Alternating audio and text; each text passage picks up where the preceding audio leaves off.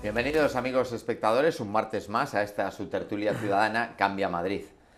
Saben que en las últimas fechas, bueno, pues eh, retomamos eh, sin duda la iniciativa de ofrecerles eh, la, la perspectiva desde distintos ayuntamientos de cómo se ve nuestra región o cómo se ve esas grandes ciudades, porque siempre lo decimos en esta casa, Madrid no es solo eh, la capital, son las grandes ciudades en las que viven miles y miles de madrileños. En este caso, tras Arganda, tras Alcorcón, bueno, pues le toca el turno a Leganés. En este caso vamos a hablar de una ciudad de prácticamente 200.000 habitantes y nadie mejor que su primer vecino, en este caso el, el alcalde, eh, Santiago Llorente de Leganés. Bienvenido. ¿Qué tal? ¿Cómo estamos? Encantado de estar aquí. Gracias. Eh, vamos a repasar un poco la actualidad pepinera, como dicen los aficionados al Club Deportivo Leganés, que está en primera, su segunda temporada en este caso en, primera. Y en este caso, bueno, pues toca hacer un poquillo de, balance. Tres años de legislatura, queda prácticamente un año para las próximas elecciones locales. Eh, Santiago, ¿cuál sería el, balance de estos tres años de legislatura, en este caso en Leganés? Bueno, yo estoy moderadamente satisfecho. Eh, ha habido un descenso importante del número de desempleados en el municipio y eso es una magnífica noticia. Lo que más y afecta luego, a la economía familiar. Sí, sí, desde luego. Hay 4.000 eh, desempleados menos y eso se nota en la economía de la ciudad, en el dinamismo económico. Y luego también yo señalaré también un gran impulso en, los, en las políticas sociales eh, y en la participación ciudadana. Tenemos una ciudad más abierta, mucho más participativa, en la que cada semana hay miles y miles y miles de personas haciendo deporte, participando participando en actividades. Leganés, hay que decirlo, desde la transición política ha estado gobernada por el Partido Socialista, salvo los últimos cuatro años anteriores a su legislatura, que eh, gobernó el, Partido Popular. ¿no? En este caso, y fieles al programa que ustedes ejecutan del Partido Socialista, prioridad en lo social. Sí, bueno, y ahí metemos el empleo. Eh, yo señalaría que, bueno, hemos sido históricamente una ciudad en la que nunca ha habido ningún caso de corrupción. Yo lo señalo muchísimo porque eh, me parece importante eh, en, que, este, en, estos que días todo el mundo en este contexto, sepa ¿no? que todos los gobiernos de los partidos, del Partido Socialista, de Izquierda Unida, también del PC en su momento, incluso del Partido Popular, han sido gobiernos honrados en los que no ha habido ningún caso de corrupción. Y es verdad, bueno, porque somos una ciudad que, que va avanzando, pues, tenemos un programa electoral que es el, el, con el que nos presentamos y ahí, bueno, pues eh, las cosas más sencillas pues se solucionan de forma más rápida y aquellas cosas que, bueno, pues que requieren más tiempo son las que, bueno, pues eh, las tenemos un poco a medias y en ese caso me refiero, bueno, pues a las grandes obras eh de reforma de los centros educativos y, y de los polideportivos, ¿no? que van a empezar en los próximos meses. El PSOE se presentó a las elecciones en 2015 con unas 500 propuestas. Hacían ustedes hincapié incluso en la reforma de colegios públicos, eh, distintas propuestas sociales. ¿Cómo va el grado de cumplimiento? Bueno, como decía, hay cosas complejas, como por ejemplo las obras de reforma en los colegios. En Leganés hay 33 colegios públicos, eh, de los cuales 29 son antiguos, tienen más de 30 años todos ellos y requieren un amplio plan eh, de reformas. Es una competencia de la Comunidad de Madrid, pero como la Comunidad de Madrid no tiene presupuesto para reformas en los colegios, hemos decidido con el presupuesto del Ayuntamiento acometer alguna de estas obras y hemos redactado proyectos de reforma en cuatro colegios públicos, eh, eh, reformas integrales, y en otros siete vamos a cambiar todo lo que son las ventanas, pintar por dentro, en otros 11 vamos a hacer obras en, en patios y en el resto vamos a pintar completamente el colegio, es decir, vamos a, a, a hacer que, bueno, pues que haya un gran impulso en lo que es el mantenimiento de nuestros colegios.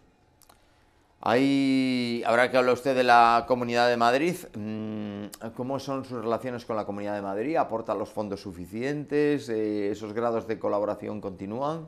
Bueno, las relaciones son buenas, son cordiales. Eh, la, presidenta Cifuentes es una persona muy cercana. Otra cosa es las soluciones eh, que necesitan los ciudadanos de Leganés.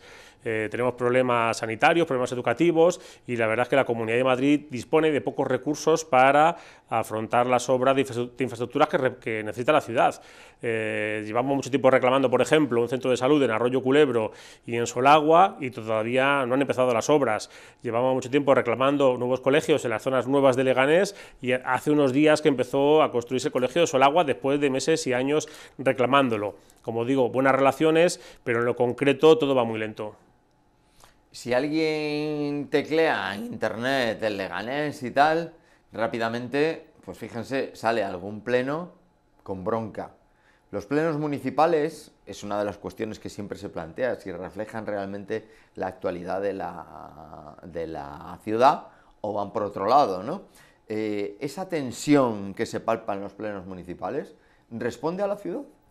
No. Eh, si alguien pulsa eh, teclea Leganés, sale el fútbol. La verdad es que ahora mismo el fútbol es bueno, pues algo muy importante en la ciudad y, se lleva muchísimos titulares. Pero bueno, si alguien profundiza en la vida política del ayuntamiento, pues puede ver que, que, hay pues, una forma de hacer política agresiva, pero no todos los partidos políticos lo hacen.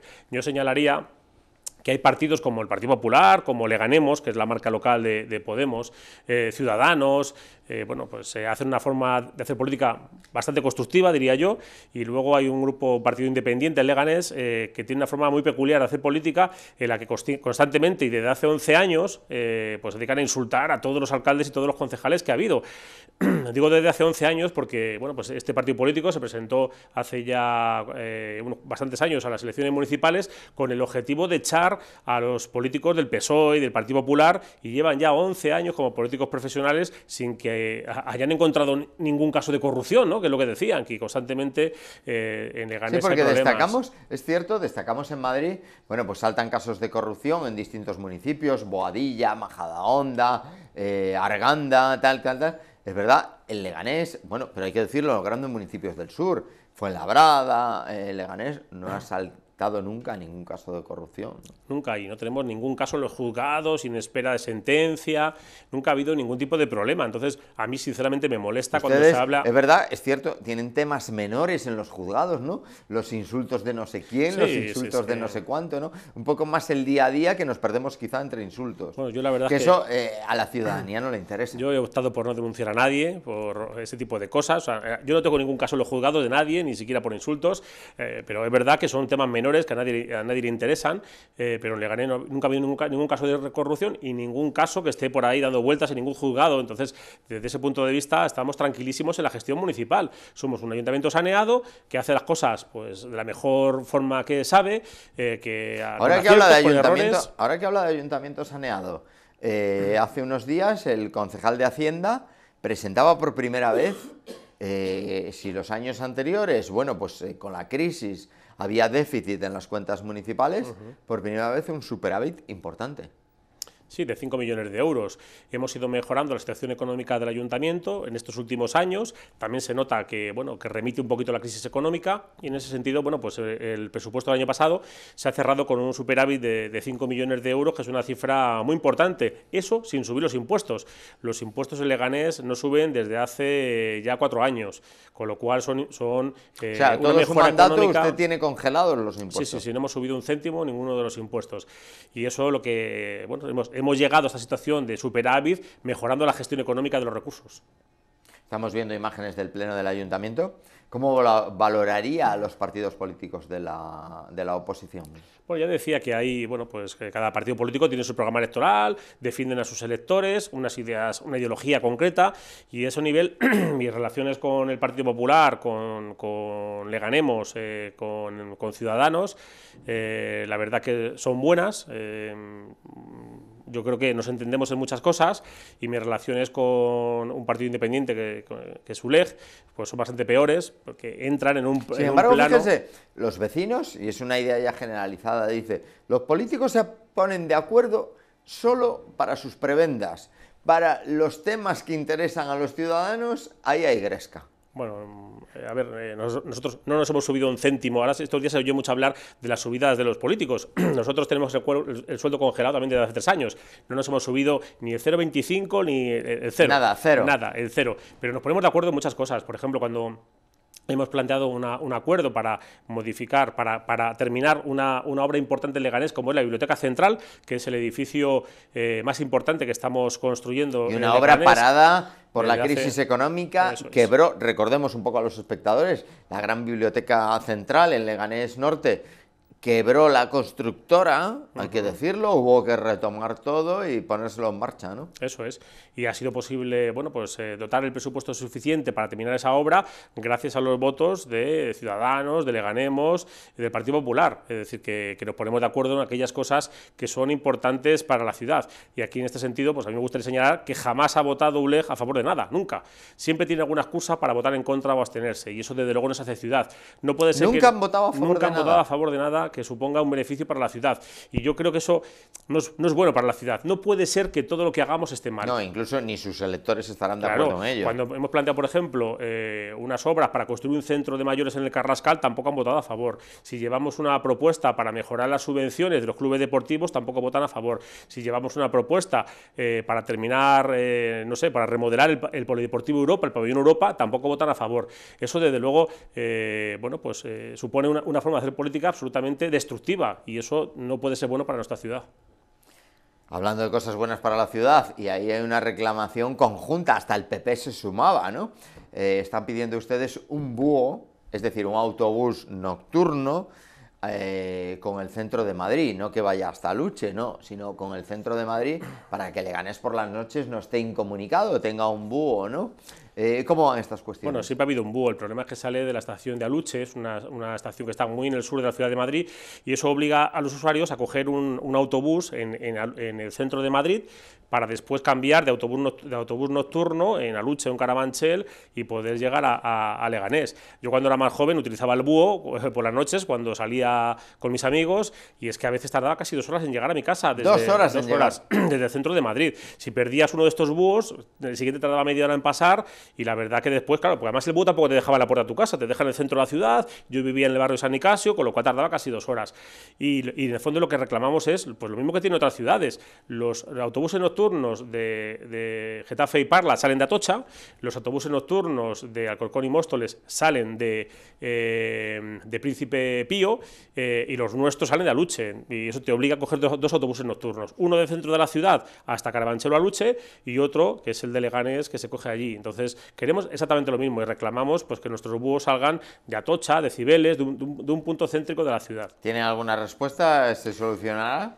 Yo creo que sí, yo creo que estamos en buena sintonía. ¿Se apuntaba alguna...? Sí, ya por fin, después de 20 años, bueno, de 30 años, eh, hemos eh, conseguido que la Comunidad de Madrid, que el Consorcio Regional de Transporte nos diga que sí a esta propuesta y estamos esperando a que el Ayuntamiento de Madrid nos autorice la cabecera en un punto céntrico de la ciudad. Se hablaba de embajadores, Atocha, ¿no? Sí, sí, puede ser. Yo espero que es Atocha, que es un punto pues, muy interesante para nosotros, y desde luego.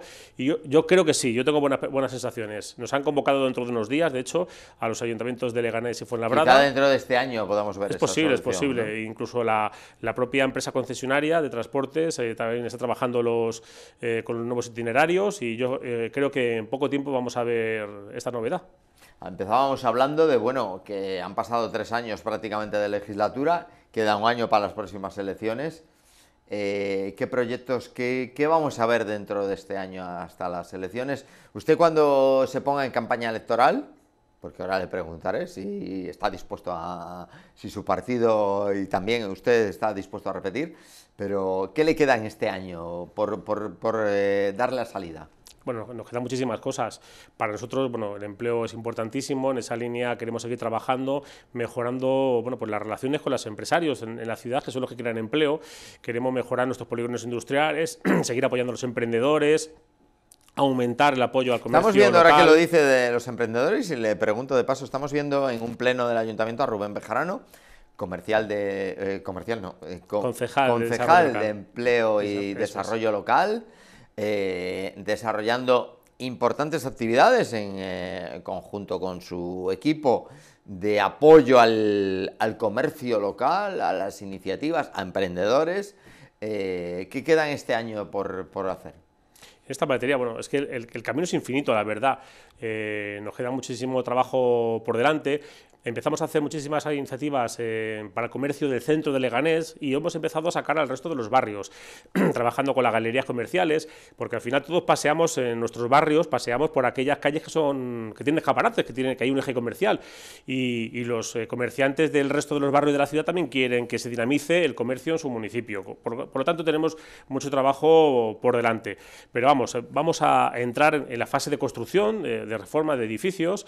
Como decía, para nosotros eh, los edificios que tienen que ver con la política social son esenciales y yo espero que los de aquí al verano, bueno, pues en, torno al verano empecemos a ver cómo comienzan obras pues en colegios, en centros de mayores, en polideportivos, en aquellos edificios que son utilizados masivamente por los leganenses y que están en malas condiciones. Y claro, uno no construye un nuevo edificio mientras tiene los que tiene pues en malas condiciones. Lo primero es tenerlos, eh, bueno, pues eh, eh, en perfectas condiciones y luego a partir de ahí pues ya nos, plantearemos más adelante la construcción de otros edificios en barrios nuevos donde también hace, donde también hace falta.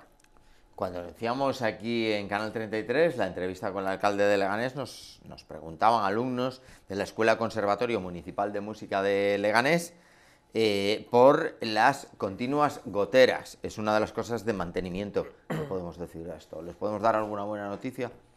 Bueno, ellos están en, un centro cultural que es el Santiago Gamón, un edificio también antiguo que tiene problemas también de goteras y estamos trabajando también para solucionar todos esos problemas. Somos conscientes de que hay cientos de personas utilizando sus instalaciones y que hace falta pues, mm, hacer un, amplio plan de, reforma de, esta, de, este conservatorio escuela de música porque bueno, se lo merece y desde luego bueno, pues si queremos darle la mejor de la calidad, la calidad que se merecen a, nuestros estudiantes de música, pues hay que hacer obras que, que mejoren sus instalaciones.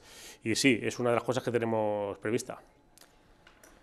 Hablando de actividades que usan las instalaciones deportivas, las usan todos los fines de semana miles y miles de leganenses. Yo creo que estamos ante una de las ciudades del sur de Madrid más deportiva.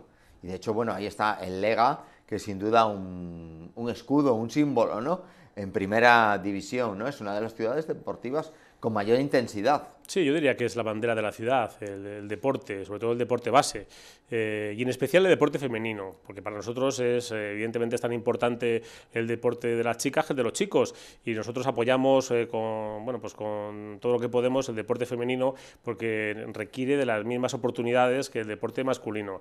Apoyamos el deporte base, para nosotros es básico, todos los clubes de Leganés utilizan gratuitamente las instalaciones deportivas, cosa que no pasa en la mayoría de los municipios, donde les cobran una tasa, un canon, el Leganés, los clubes utilizan de forma gratuita las instalaciones deportivas porque queremos que todo el mundo haga deporte y eso desde luego, como decía, es una bandera en el municipio. Pero incluso dentro del deporte de élite, no solo está el fútbol, el que conocemos, el Lega, hay mucho más deportes donde en que sus deportistas están en, el máximo nivel. Tenemos nuestras chicas de fútbol sala, están en primera división. Tenemos importantes deportistas como Eva Calvo, que fue medalla de plata en los pasados Juegos de Río, o, bueno, pues deportistas en, de esgrima, de volei, bueno, pues muchísimas modalidades deportivas que desde luego son, son de los mejores de España. Pero claro, el fútbol es verdad que Carreras populares. Claro que sí, el fútbol es tan mediático que se come pues, casi todo el espacio deportivo en los medios de comunicación. Y en las redes sociales. Y es verdad, y al final pues el resto del deporte sale mucho menos, pero bueno, eh, lo cierto es que hay decenas de miles de personas haciendo deporte cada fin de semana y para mí eso es una maravilla, la verdad que ver a, tanta gente joven y mayor haciendo deporte, pues es todo, todo bueno, pues un, un éxito como ciudad. Santiago Llorente, ¿qué se quedaría a lo largo de estos tres años con lo mejor y lo peor de, la vida política, en este caso en Leganés? Bueno, pues empiezo por lo mejor. Para mí la verdad que es una maravilla eh, pues ver cómo la ciudad en la que vivo va mejorando poco a poco, ver cómo aquel, el tiempo que le dedicas eh, tiene su recompensa. Pues y se ven grúas, obras, ¿eh? Grúas que da idea. Las obras que planificas mm, poco a poco van avanzando, las medidas en política social se ponen en marcha, eh, mejoramos la relación con las asociaciones, con los clubes deportivos. Para mí eso es muy, muy gratificante. Lo peor, bueno, pues es que vivimos en, este plano político antes, al que antes me hacía, hacía referencia, bueno, pues es que la verdad que hay una agresividad que yo creo que, no tiene que ver con, lo que los vecinos demandan y con lo que hay en nuestra, sociedad y yo creo que sobra. Los insultos sobran, eh, las amenazas sobran, esa forma de hacer política la verdad que es muy desagradable y nos mantiene constantemente en tensión y desde luego mm, perdemos muchísimo tiempo en, bueno, pues en esa dinámica tan, bueno, pero tan mala. siguen gobernando. Sí, por supuesto, claro. Yo tengo claro cuáles son los objetivos de la ciudad y la verdad es que intento entrar nada o muy poco al trapo ante los insultos, ese tipo de cosas, de líos, bueno, pues que forman parte de la política hoy en día, pero que no aportan nada, absolu- absolutamente nada. Santiago Llorente, no sé si sabremos si, hará, si habrá primarias, no las habrá, se supone que sí o tal.